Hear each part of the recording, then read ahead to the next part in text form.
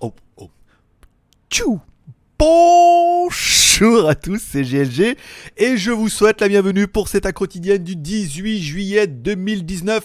Je suis GLG, votre dealer d'accro et on se donne rendez-vous comme tous les jours, du lundi au vendredi pour la quotidienne, le mercredi et le samedi on est en live. Tas de petites geekeries du jour euh, en mode JT des bonnes nouvelles. Et vous allez voir aujourd'hui, papa il a le sourire et vous allez voir, il y a de quoi avoir le sourire. C'est- C'est beau, c'est beau la vie, vous allez voir. Tout est bien. Qui finit pas bien. Pour l'instant, j'espère que c'est encore fini. C'est pas mal. Allez, on commence cette émission en remerciant tous ceux qui sont abonnés à la chaîne, puisque cette émission, elle fonctionne grâce à vous. Moi, je fais le con derrière ma caméra, mais c'est quand même vous qui la regardez. C'est ça le plus important. Donc merci et spécial dédicace à tous ceux qui sont abonnés à GLG Vidéo. Spécial dédicace également à tous ceux qui se sont abonnés cette semaine Ah, et tous ceux qui se sont abonnés hier. On en parlera tout à l'heure. Mais voilà, hein, je veux dire, voilà. Et si tu veux euh, t'abonner, tu cliques en bas à droite sur ma gueule, tu cliques sur t'abonner, t'oublies pas la cloche de notification pour recevoir une notification à chaque fois qu'il y a une nouvelle vidéo, que ça t'intéresse, ça t'intéresse pas. Au moins tu seras informé. On commence cette émission, comme toujours, tu peux soutenir cette émission et l'encourager en mettant un petit like. Ça c'est gratuit, ça prend 30 secondes. Tu peux aller regarder de la pub sur Utip. Là aussi, ça te prend une minute et demie de ta vie et ça nous rapporte pas mal. Déjà 70 euros ce mois-ci. Alors ça vont me dire, oui mais c'est pas beaucoup, mais... Comme diraient nos amis des dom c'est avec Gouin de riz qu'on fait sac de riz. Ou c'est avec des petits rivières qu'on fait des grands fleuves. Voilà, c'est des petits bouts de trucs et vous allez voir que tout ça, eh bien, on est presque à 70 euros sur les 30 derniers jours. C'est pas par jour, c'est sur les 30 derniers jours, mais. Ouh Fais le loup. Et enfin, pour les plus riches d'entre vous, vous pouvez aller directement me payer un café sur Tipeee. Ça coûte 2 balles. Vous pouvez même un gros café à 20 balles. Vous aurez droit en échange à des tickets de tombola. Enfin, 20 balles, vous aurez droit à un t-shirt, quoi qu'il se passe. Et aujourd'hui, euh, je suis dans la ligne de mire. Elle est bonne. Regarde. Mire. Ouais, c'est bon, hein Je sais, je sais que je suis une cible. Je suis une mire. Vous allez voir, on va en parler tout à l'heure. Euh... Voilà, vous pouvez... Ah, il y en a plus que café que ça. Voilà, vous pouvez, et à chaque fois que vous m'offrez un café sur Tipeee ou via le super chat, puisque cette émission est enregistrée l'après-midi et diffusée le soir en live, tu peux m'offrir un petit café directement en super chat. Vous aurez droit à chaque fois en échange à un ticket de tombola. À la fin du mois, on fait un tirage. Pour l'instant, on est déjà, on est à beaucoup, hein. On est à beaucoup, on est déjà à 639 cafés. Pas mal. Bien. Euh, vous pourrez euh, gagner, tenter de gagner par ordre d'arrivée. Il y aura au moins 3 gagnants, peut-être 4. Par ordre d'arrivée, vous choisirez. Il y a déjà ce mois-ci projecteur Xiaomi, des traducteurs automatiques, des disques SSD, des bracelets connectés, des caméras IP motorisées ou chasse, des chargeurs rapides, des cartes graphiques P106, des écouteurs. Le premier qui arrive, il choisit ce qu'il veut. Dit je veux ça. Le deuxième dit bah, il reste ça, je prends ça. Et le troisième, etc. etc. Tu connais un petit peu la musique. Euh, alors attends. Perdu la souris. Je vais la mettre là-bas à droite. Parce que, alors des fois, je sais pas toi si elle le fait, elle passe dessous les fenêtres. Ce qui n'a aucun intérêt. C'est qu'en fait, on la voit plus. Bon, allez. Pattaya French Group. Bon, je me suis mis aujourd'hui, j'ai fait un article sur Amazon parce que oui. Bon, déjà, parce que je suis en deal avec Amazon, on en parlera tout à l'heure. Parce qu'on peut commander maintenant sur Amazon en Thaïlande. Et comme je vous l'ai expliqué, tu commandes sur Amazon en Europe. Il te facture du coup hors taxe. Pas mal, mais il te rajoute la TVA, donc il t'enlève 20%. Il te rajoute la TVA thaïlandaise de 7%, donc ça fait 13% moins cher que chez vous. Et puis bon, les frais de port sont plus élevés, mais pour un produit que tu peux avoir euh, rapidement, incessamment sous peu via Amazon, qui est directement détaxé et tout machin. Donc j'ai fait un article pour partager un petit peu mon expérience, ceux qui voudront acheter des livres ou des claviers AZERTY ou des choses que vous ne trouverez pas. Par exemple sur euh, Lazada ou AliExpress, vu que c'est quand même des fois un peu trop chinois et qu'il y quand même des choses qu'on trouve que sur Amazon. Un article qui était en ligne depuis ce matin que vous pouvez trouver directement sur le Pattaya French Group sur Facebook ou sur patayafrenchgroup.com qui est également un site web. Mon. Alors, le Instagram. Bon, hier, comme on a fait le live, l'Instagram, le restaurant où il y a des chouettes ou des hiboux, je sais pas comment on les appelle, mais il y en a trois papa, maman et l'enfant. Faudra que j'y retourne faire une vidéo, là, absolument. Hier, un petit truc sur le loser. Alors, elle est belle cette image, c'est-à-dire qu'en fait, celui qui n'a pas de succès, en fait, il accumule les échecs euh, sur sa tête. Alors que le winner, lui, il se sert de ses échecs pour avancer et aller encore plus haut. Putain, c'est tellement beau. Et aujourd'hui, petit café, parce que je regardais sur la pub de Nespresso, chaque fois qu'ils mettent leur truc dans le café, ils ont des couleurs différentes et tout. Je me suis dit, c'est incroyable. Bon, moi, c'est noir de chez noir. Il reste encore un peu d'espoir, mais je pense qu'il faut que je mette de l'éclairage derrière. Et je pense que tous les jours, je prends une dosette pour voir s'il y a vraiment un changement de couleur ou si c'est de l'enfume. Ou si. Non, mais attendez, qui c'est qui a dit que les pubs c'était de l'enfume? On parle un petit peu des stats de la chaîne YouTube hier, puisque cette chaîne c'est un petit peu la vôtre. Et hier, Gérard, puisque tu me demandes, on a pris 56 abonnés. Alors, je ne sais pas pourquoi, parce que dans les stats, en fait, c'est ça. Au niveau des vues, toi, on est toujours à 13. euh, Attends, vidéo vues. Oui, ah non, on a fait 40 41 000 vues. Ah ouais ah ouais, d'accord, oui, c'est pour ça. Oui, parce que j'ai acheté des abonnés et des vues, bien évidemment, pour que ça soit cohérent. Euh, oui, on a fait 40, ouais, 41, ouais, ouais, 40, euh, 56 abonnés, quoi, 41 000 vues hier, ah ouais, ah ouais. Donc on a quand même pris, c'est mon record. hein. Je pense que j'ai jamais pris autant d'abonnés en une journée. Surtout sur ma chaîne secondaire. La chaîne primaire, je sais pas. La chaîne primaire fait sa petite vie de, chaîne. euh, là, je suis en train de remettre en branle, donc ça va prendre un mois avant que ça se remette. Mais du coup, effet euh, Bill Bokeh, on en prend aussi sur WTS bah, GLG. Je vais l'expliquer. C'est une, c'est une histoire, euh, c'est une histoire à trois. C'est un gangbang. c'est une histoire à trois. On fait, je pousse en fait trois, en fait, je pousse trois chaînes en même temps et trois sites web en même temps. Et ouais, certains l'auront compris déjà depuis un moment. Donc c'est plus long. Et oui, mais c'est tellement plus puissant parce que du coup, l'un, en fait, on pousse trois. C'est-à-dire qu'on ne mise pas tous ces. C'est le tiercé dans le désordre. Nous, on mise sur le tiercé dans le désordre. Tu vois, tu stack trois chevals, tu mises dessus, ils vont bien arriver dans un ordre ou l'autre. Premier, deuxième, troisième, tu t'en fous, tu l'auras dans le désordre quand même. Voilà. Donc c'était exceptionnellement bien et c'est vrai que ça s'en ressent avec les feux du marabout. Oh oui. Bon, hier, on a fait donc un mini live qu'on a fait à 18h au lieu de le faire à 16h. Alors, je sais pas si c'est le fait de le faire à 18h, parce qu'au niveau des vues, ça n'a pas été dingo hein, non plus. euh, ça a même été plutôt Mickey. Alors, attends, ça, c'est les chaînes où je suis abonné, on s'en fout. Euh, la vidéo a pas fait euh, what 1000 vues. Oh, 315, c'est pas mal. Euh, mais voilà, l'heure vous a bien plu. Le, live était très très bon. Donc un mini live qui a commencé à 18h. Un mini live spécial backpack. Si vous êtes intéressé par les backpacks, notamment mes backpacks préférés, plus ceux que j'ai vus un peu sur internet, vous pouvez aller regarder l'émission. euh, bah, ça se passe au bout d'après 10 minutes. Spécial backpack, peut-être que. Mais non, parce qu'en fait, on n'a pas fait de vue. on n'a pas fait de vue cette vidéo. J'allais vous dire, peut-être que c'est de cette vidéo. Bah non, sinon ça serait vu. On aurait fait 1000 vues, un truc comme ça. Bon, bah tant pis. Euh, une spéciale backpack. Et ensuite, bah, l'émission va quand même durer. Au une demi-heure, on va durer une heure. Sous un rythme endiablé. Je sais pas vous, mais moi, cette heure, elle est passée, mais extrêmement vite. hein. C'était. euh, C'était vraiment bien rythmé. Donc c'est rythmé par le super chat, parce que vous avez super chatté, mais à mort. On a fait, euh, on a explosé les records. Alors c'est vrai que je pense que si vous regardez vous aussi d'autres youtubeurs, arrêtez de leur dire tu euh, fais des lives, tu vas te faire des thunes, genre comme GLG. Oui, mais non. ben non, parce qu'en fait, les thunes, c'est pas toi, c'est pas celui qui fait le live qui décide, c'est les membres. Et c'est en fonction de ta communauté, de l'engouement et de ce que tu proposes. Il y a un peu de ça, ça va pas marcher tout de suite. Parce que là, on va pas me dire, oui, mais j'ai dit, ah, là, il a voulu le faire, il a pas marché. Ben ouais, mais je veux dire, c'est pas parce que je vais me mettre à courir le marathon que tout de suite je sais courir. Ah, il faut s'entraîner d'abord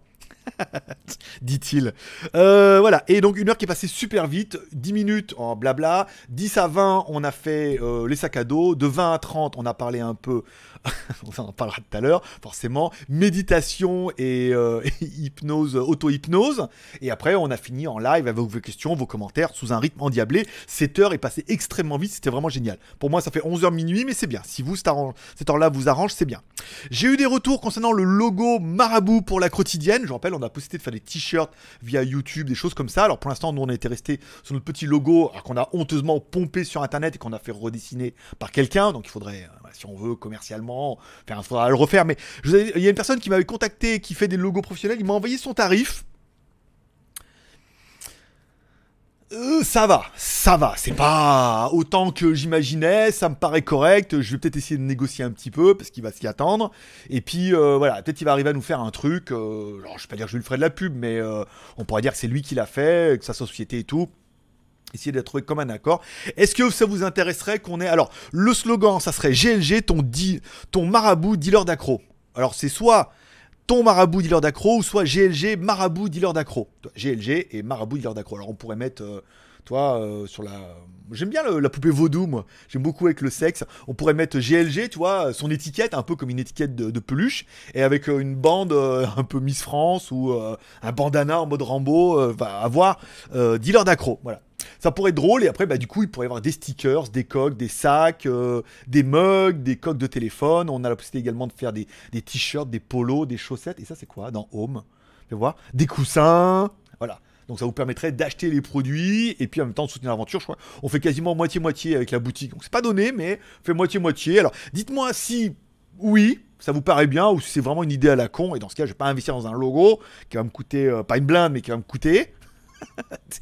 Il va plus me coûter que si ça me coûtait rien. Tu vois, mais c'est normal, le mec travaille pas pour rien non plus. Et tout argent, travail mérite salaire. Euh, puis voilà. Et enfin, aujourd'hui, j'ai reçu le premier produit qui est en collaboration avec Amazon. On est en train de prévoir un truc vu que on s'est lancé dans le programme d'affiliation avec eux, qu'on avait déjà été contacté pour des reviews, et euh, ils nous ont proposé en fait de faire un essai avec un premier produit dans les environ 150 euros qu'on pouvait choisir, faire une review et voir un petit peu ce que ça allait donner au niveau des chiffres. Alors moi j'ai choisi le Google Hub, euh, il est là, regarde. Euh, putain, j'ai pas assez de câbles. ah, c'est nul. Le Google Hub, voilà, c'est, on en a parlé justement la dernière fois parce que voilà, c'était bien. Oh merde, on voit que je suis en string ou pas? Non, mais je suis pas en string, je suis en shorty, euh, en shorty moulant. Oh, mon dieu. Euh, voilà, donc j'ai choisi ça, le Google Hub, euh, Google Home Hub, ce qui va pas en remplacement du mien, mais moi j'avais déjà celui-là, donc je voulais voir un peu ce que ça donnait avec l'écran et tout. Donc il y aura une vidéo en disant à quoi ça sert? à quoi ça sert? Après, on va pas se mentir, je suis un peu dégoûté parce que les seules les reviews que j'ai vues, personne parlait du son étonnamment. Non, mais le son, il est mieux que l'autre. Non, il est pas mieux, il est nul. il est pas bon. Il est pas bon à côté. Il est trop, trop médium aigu. Il n'y a pas de grave, il n'y a pas de. Voilà.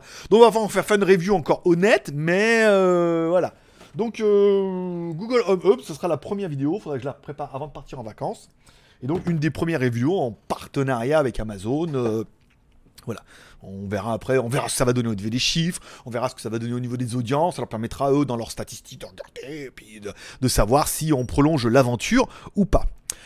Euh, tac, allez, c'est tout. La question du jour, pas grand chose. Euh, alors, j'ai pas de question du jour posée. Par contre, les commentaires sont de la veille. Alors, j'ai eu un commentaire, bien évidemment, que j'ai viré comme un malotru ce, ce matin, qui me dit euh, La méditation, c'est sérieux, nom de Dieu. Enfin, pas comme ça, mais il me l'a dit avec des termes Concernant l'émission d'hier où on parle de la méditation, de la spiritualité, il me dit ouais alors il dit des gros mots, puis t'es énervé, puis tu parles de ça, et en fait ça, on casse un peu la, mystification du côté méditation, con, chiant, pimpon, euh, new age, tu sais ouais méditation et tout. Et ça, on le voit, s'il y en a qui suivent un peu les... Moi, je suis des livres de médium, par exemple. Euh, si on prend Fabienne Bizet ou Christophe Jacob, son dernier livre que j'ai acheté, euh, sont dans le même un peu truc. Ils disent pareil, c'est que les, gens sont un peu dans leur stéréotype de non, mais le, spiritualité, c'est sérieux.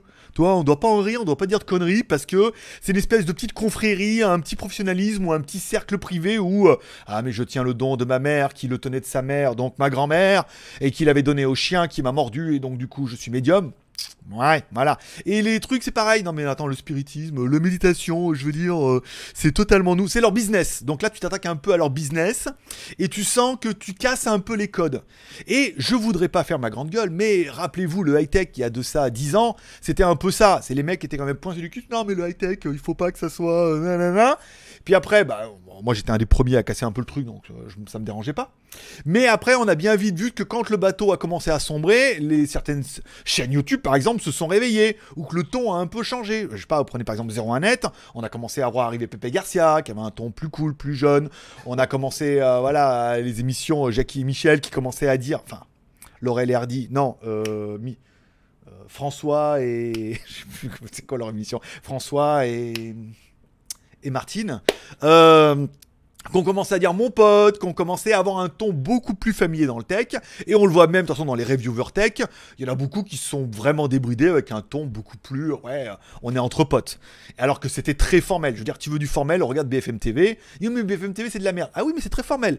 Eh ben, le spiritisme et la méditation, c'est pareil. Les mecs, ils sont très coincés du cul en disant, mais attendez, euh, c'est quand même très sérieux, euh, on parle là.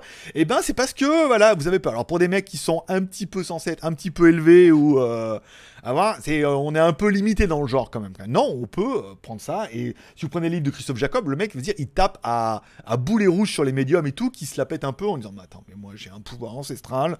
Je veux dire, si le chien m'avait pas mordu, j'aurais pas eu ce pouvoir. Euh, personne peut l'avoir parce que le chien après on l'a bouffé et que voilà. pour être sûr qu'il n'y a que moi qui ait le pouvoir et que ça soit mon business et que ça soit une espèce de petite confrérie et que les guignols de genre ne s'y intéressent pas parce qu'ils vont complètement nous niquer le business avec leur grande gueule. Ouais. c'est le but. C'est le but. Et enfin, une question de Alex que j'ai pris au hasard. Il dit Penses-tu que le, le renouveau de certaines marques doit passer par des diversités maîtrisées, comme Lenovo qui sort un réveil connecté? Et j'ai bien suivi Xiaomi des aspirateurs, des brosses à dents, des trucs. Alors, normalement, en tant qu'innovateur ou suiveur. Alors, j'aurais envie de te dire, c'est surtout la, la tendance chinoise où il y a de nombreuses, nombreuses usines qui font un peu tout et n'importe quoi et qu'il est facile d'aller voir une usine en disant euh, fais-moi, euh, par exemple, ça là, je sais pas ce que c'est. Je sais que c'est m'a ça. Je crois que c'était bien en plus. Ah, c'est un Red School, c'est un Divacor. Ah ouais. D'aller voir une usine qui fait des écouteurs en disant voilà, j'ai une marque, qu'est-ce que vous avez en stock? Ah, ah, J'ai ça, je peux ce truc. Bah, vous mettez mon logo dessus. Bah, vous m'en prenez 1000, je mets mon autre logo dessus, je fais, vos boîtes et ça sera votre produit à vous et moi je suis innocent. Voilà. Et ben du coup, vas-y, prends-en 1000. Donc les, vendeurs peuvent vendre un peu ce qu'ils veulent en mettant ta marque sur ce que tu veux. Nous-mêmes en Chine, on est fait des, des porte-clés, des pangeeks, des trucs pour accrocher les téléphones. Tu peux mettre ta marque sur ce que tu veux à partir du moment où tu en as. Les fabricants sont assez open pour faire de l'OEM. Ça veut dire vendre du produit sans marque et que tu mettes ta marque dessus. Donc que des marques chinoises comme Lenovo, Xiaomi aient compris qu'il fallait absolument diversifier leur business pour augmenter les gains et qu'ils euh, pouvaient le faire avec n'importe quelle usine, ça paraît un peu évident. Est-ce que c'est nécessaire? Oui, parce qu'ils font beaucoup plus de marge sur un sac à dos et sur certains produits électroniques que sur un smartphone ou une tablette où les prix sont en train de réduire comme neige au soleil vu qu'on est au mois de juillet en même temps. Et euh, ils sont un peu obligés puisque ça génère de la marge. Tout ce qui est accessoire, ça génère de la marge. Voilà. Donc achetez-en, parce qu'en même temps, sur l'affiliation, on le voit, c'est là où on a le plus de commissions. sans, vouloir, euh, sans vouloir prêcher par ma paroisse. Voilà, ça c'est les questions du jour. Voilà, je vous rappelle, allez, pour toujours, si vous voulez soutenir l'émission, vous pouvez mettre un petit like en bas de la vidéo, ça sera fait. Vous pouvez regarder trois petites pubs sur YouTube, une minute et demie de ta vie, une minute et demie de ta vie tous les jours, et ça nous permettra en fait, euh, sac de riz, tout. voilà il sera content. et euh, tu peux sinon aller m'offrir un café sur Tipeee, ça coûte 2 balles, tu m'offres un café, tu es tranquille pendant un mois, mais tu te dis, c'est vrai que si on est un petit millier à mettre 2 balles, eh ben ça fait deux petits milliers, et ça lui fait son salaire, et le mec, il est plus zen, il va pouvoir, à partir de nous emmener dans un endroit incroyable pour faire des quotidiennes de dingue. C'est prévu, alors peut-être pas septembre, si peut-être septembre, mais septembre je serai en Chine, donc euh, je risque de pas avoir de VPN ou pas avoir de connexion, on verra comment ça se passe euh, là-bas. Sinon, ça sera octobre, où là on va vraiment commencer à prendre le rythme que je m'étais fixé. Voilà. Allez, on parle un petit peu des news tech du jour. Une vidéo que vous avez peut-être vue sur la chaîne, si vous êtes abonné comme moi à la chaîne Xiaomi Global Community, avec une nouvelle montre Amazfit, la GTR qui comme ça a l'air d'être une montre bombasse, mais après une fois que tu reviens à la réalité, tu dis c'est quoi? Bah c'est un écran rond sur lequel on met des écrans, hein. Donc du coup, elle pourrait les écrans, tu vois, l'écran il est bien, mais non, c'est que des écrans. Donc euh, je veux dire ça ou une numéro 1, c'est tu mets des belles écrans aussi quoi. Donc après l'écran sera bien. Là, ce qu'on se rend compte tout de suite, c'est que la montre est plutôt jolie avec sa finition aluminium en finition ronde avec ses deux gros boutons comme une vraie montre, un bracelet en cuir assez épais, assez cossu, où tu as envie de te dire, waouh, la montre, elle est jolie. Bah ouais, mais bon, après, malheureusement, elle va rien faire de plus que les autres montres, si ce n'est que bah, c'est une montre connectée qu'elle est jolie. Il faut, voilà, après, il y a le besoin, envie, moyen. Est-ce que j'en ai besoin? Non. Est-ce que j'en ai envie? Bah, C'est là-dessus qu'ils vont essayer de miser. C'est que tu vas l'avoir, tu vois, oh, elle est trop bien. Après, tu vas la recevoir. Tu fais, mais en fait, c'est qu'une pauvre montre avec un écran LCD qui fait rien de plus que, que les autres. C'est exactement ça. Mais c'est pas grave, tu l'auras acheté. c'est quand même le plus important. Donc je sais pas, est-ce que c'est le genre de montre qui vous intéresse? Euh, À combien vous seriez prêt à l'acheter? Est-ce que vous attendez absolument cette nouvelle montre à Amazfit, Uami, Amazfit, euh, Xiaomi Enfin bon, vous avez compris, c'est un, petit business familial, forcément. Allez, petite news envoyée par Kurumi. Euh, hier, il disait, a été officialisé le Xiaomi Mi A3. Alors un écran, alors la, particularité des A3, c'est qu'il tourne sous Google One, donc avec les mises à jour, les sécurités, tout ce qui va bien. Ah bon Bon bah attendez, je reviens.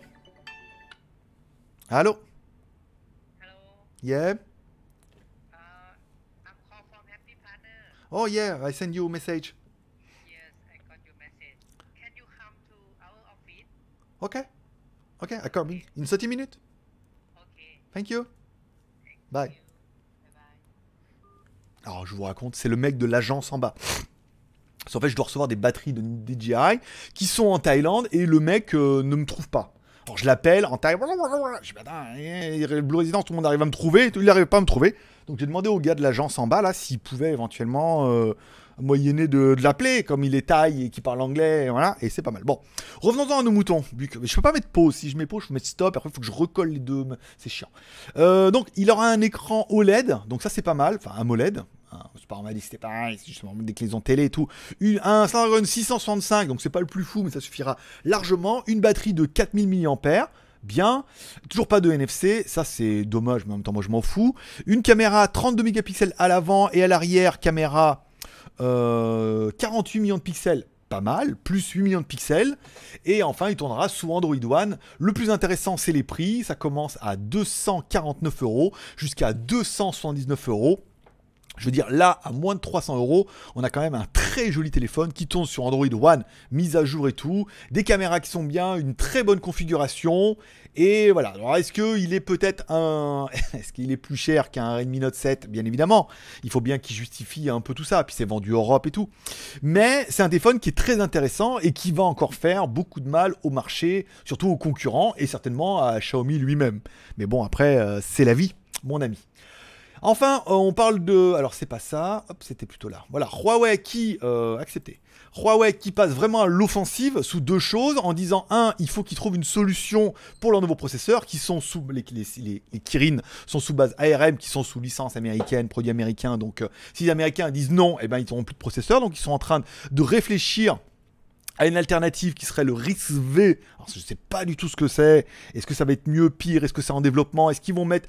Alors, en vrai, ils ont un gros budget Huawei en développement. Et apparemment, de ce que on nous laisse entendre sur les, petits réseaux chinois, c'est que les pertes de Huawei actuellement, euh, les pertes qu'aurait Huawei actuellement à cause des conflits américains, seraient pseudo-compensées par le gouvernement chinois en disant ouais mais alors en Chine on va euh... voilà, c'est ce qui se murmure après on n'est pas de fuite ni rien hein. on n'est pas sur Wikileaks mais que euh, l'État dirait bon comme là c'est difficile en attendant que vous rebondissiez ils vont les aider. Alors peut-être c'est moins de taxes, moins d'impôts. Euh, après, il y a le petit côté patriote chinois qui va certainement faire l'affaire. Euh, comme les mecs ils ont tous des puces là, ils vont, dire acheter du Huawei maintenant.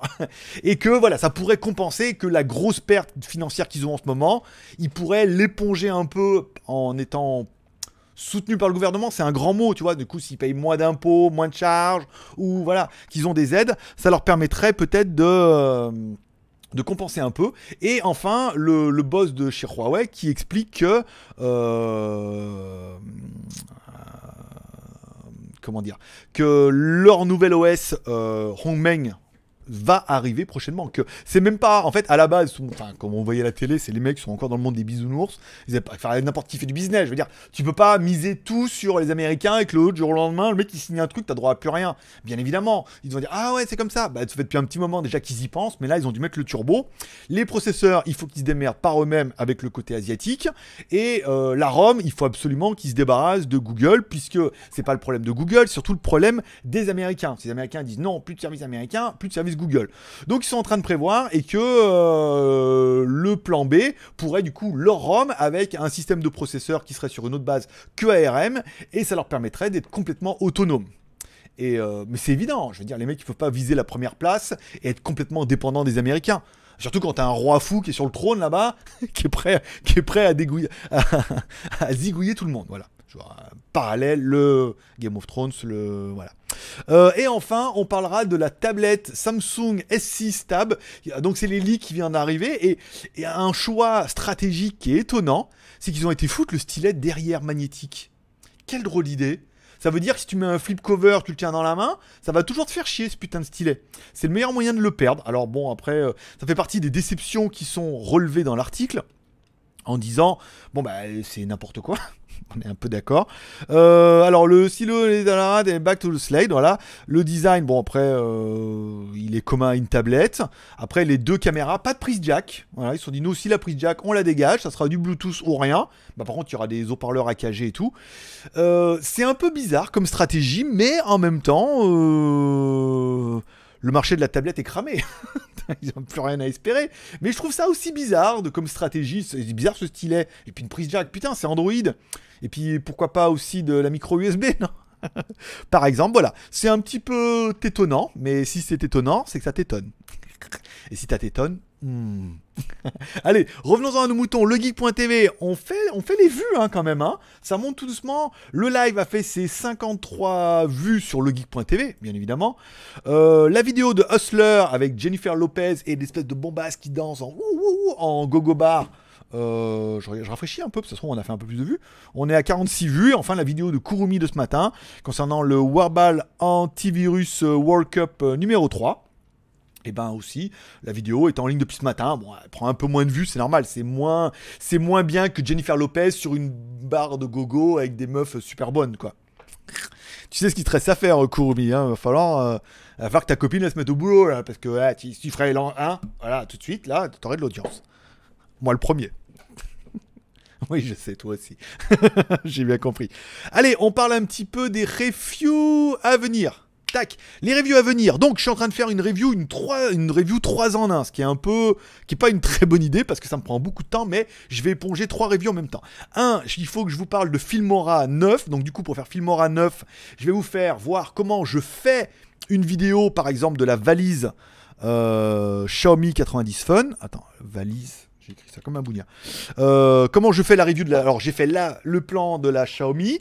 Du coup, avec, je fais voir une troisième vidéo où je vous fais voir comment je fais le script, les plans et comment je fais le montage avec le logiciel. Donc, ça sera une vidéo. Comment, faire, comment je fais une vidéo de A à Z facile. Une vidéo B qui sera bah, la vidéo de la, de valise Xiaomi, puisque je vous ai fait voir en vidéo comment je la montais, donc je l'ai exporté, la vidéo elle est prête. Et enfin, la vidéo de Filmora, où le coup, tout sera, monté avec Filmora qui mettra les biens, et on a fait un truc avec le fond vert là. euh, avec un t-shirt vert ou fond vert avec le fond transparent et tout, tu vois, c'est euh, oufissime ce qu'on arrive à faire avec trois bouts de ficelle avec un t-shirt vert. Avec, pas grand chose, avec un t-shirt vert. Voilà. Donc, du coup, ça fera quasiment trois reviews en même temps. La vidéo de Filmora qui tombera dimanche, la valise qui tombera certainement la semaine prochaine, et pas sûr, parce que j'ai encore le phone là que je suis aujourd'hui. Et euh, la vidéo, comment je fais une vidéo qui tombera certainement au mois d'août, ça permettra d'éponger. Donc, vidéo à venir, logiciel de montage, la valise, le Ulefone Power 6 que j'ai reçu hier, je vais le chercher ce matin, ça c'est bien. Le Google Home Hub qui est là, euh, oui, bon ça il y a moins d'urgence, ce sera pour le mois d'août, hein. ils m'ont pas mis la pression non plus. iPadOS 13, les 13 raisons de craquer pour iPadOS 13, et le, la Xiaomi Mi Box S que j'ai toujours là-bas, que j'ai complètement oublié, mais c'est la personne qui me l'a envoyé, m'a dit alors, euh, j'ai bah elle est là-bas, elle est bien. Elle est dans le dans l'étagère. euh, je, vais essayer de pas vous la faire gagner avant de la tester, mais pour l'instant tout va bien. Allez, on parle des films et séries télé de la semaine. Alors, en film de la semaine, il y a bien évidemment Le Roi Lion, version 2019, image de synthèse, trop bien, Hakuna Matata, voilà. Et le deuxième film, peut-être, qui, comme ça, n'est pas évident, s'appelle The Current War, qui est un peu l'histoire de Tesla, euh, voilà, quand il fait euh, les inventions et le challenge et tout. Je sais pas, je suis un peu... Voilà. Il y a certaines, ceux qui suivent un petit peu ça, il paraît que Tesla, il entendait des voix. Enfin, il communiquait avec l'au-delà, enfin, il communiquait avec des gens de là-haut et avec le ciel ou, euh, ou avec des sages, et que du coup, il y a une bonne partie des choses qu'il aurait su ou qu'il aurait inventé qui lui auraient été envoyées. Voilà. Alors, ceux qui suivent un peu, ceux qui ont regardé comme ça, a un parce qu'il en fumait trop. Alors, a je sais pas ce qu'il fumait, mais c'était la bonne, hein, parce que avec tout ce qu'il a, a sorti. Et après, il allait dire oui, si vraiment il était connecté avec là-haut et qu'ils arrivaient à communiquer avec lui, il lui envoyait donc des informations, des plans, ça lui permettait lui mode méditation, hein, de passer sur un autre plan et de découvrir des technologies et d'apprendre et après de revenir dans son temps et les mettre en pratique. Je sais pas si le film prendra cette orientation-là, mais à mon avis non. Ça peut être le mode guéguerre où le mec il est trop malin et qu'il invente des trucs qui lui sortent ah comme ça je vais faire un truc comme ça et truc trop bien et trop en avance sur son temps. Voilà.